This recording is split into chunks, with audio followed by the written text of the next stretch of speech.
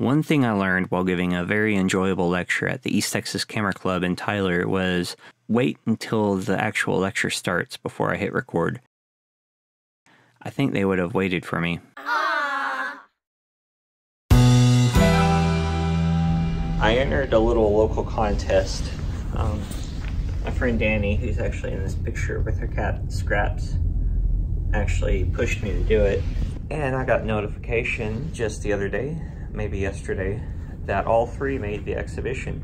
And something you um, budding artists and, and photographers probably need to know is that there's a thing called ready to hang. Ready to hang sounds like a loose term, but really what it probably means is wire, that there should be a wire on it. I do not hang my photos by wires, I hang them by these two little D rings, but I installed a wire on these. I don't like wires. I think it's because uh, galleries like to put up one nail or screw and be able to hang the photo uh, as opposed to my much more secure D-ring method or D-ring only method. Frame destination in Dallas, uh, but anywhere, uh, I think you can order it from just about anywhere, especially in the United States. When you get a frame, it comes with a with the um, mounting stuff, and especially with the uh, wire. And I like this wire because it's pre-cut, and also it's it's kind of got this rubber coating on it. And when I do normal wire, I hack my hands apart. It's terrible. It's one of the reasons I hate wire. But anyway, so I'm going to wire this little frame. Full stop. Can't believe I live in your thoughts.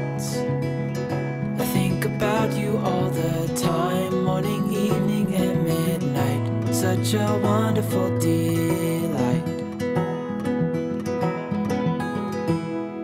Forgo, give up everything that I own. Yeah, I'd give it all up now just to be with you somehow. Unexpected love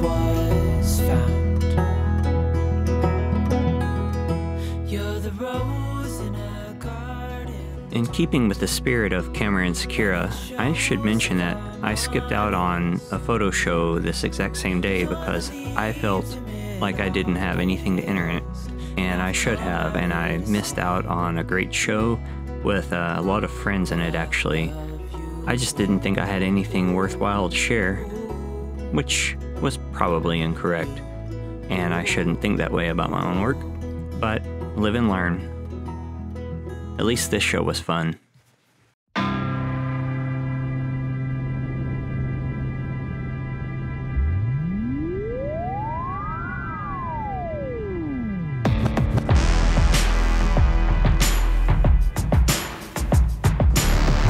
The next day, I had a fashion photo shoot with my friend Caitlin, who is co owner of Alex and Afton Vintage Clothing in Tyler, Texas. Of note, um, mirrors are tricky to work with, but with as with groups, it's all chaos until everything's in order. I just, as you'll see here, uh, just piled everyone in front and then arranged them until I could see everyone. I had a rough vision based on some um, old paintings and also figured out along the way about what worked.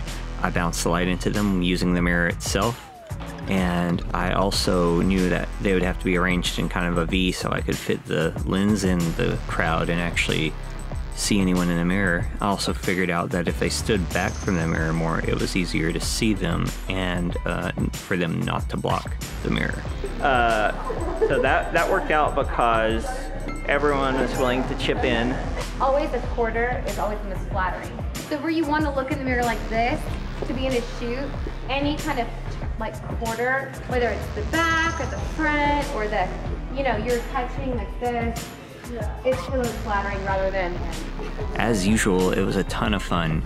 She's a masterful stylist and just great at pulling this stuff together.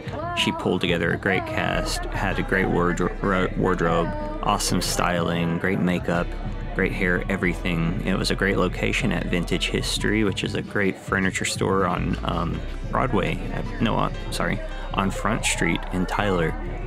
It was another great adventure in Caitlin's eclectic and amazing taste.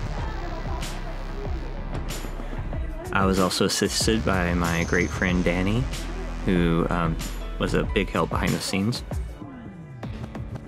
It's not super detailed, but hopefully you enjoy that little glimpse behind the scenes of the chaos. Good planning, good uh, teamwork, especially. A lot of experience and everything else pays off, but the only way to get that experience is to go and do things. So that's one reason why you should learn how to use your camera and you should work constantly because that kind of experience builds up and helps you through moments like this. And all the models were awesome, and we can't share everything just yet, but there are a few pictures. As usual, feel free to contribute on Patreon, as Rachel Singletary and Stephanie K. Smith do and they help pay for these posts, so thank them as well. And if you'd like to join in for as little as $1 per post, you are free to do that, and I'll never do more than four posts in a month, at least for pay. Don't forget to like and subscribe, click notifications if that floats your boat. I really appreciate it, and thanks, and I will see you next week.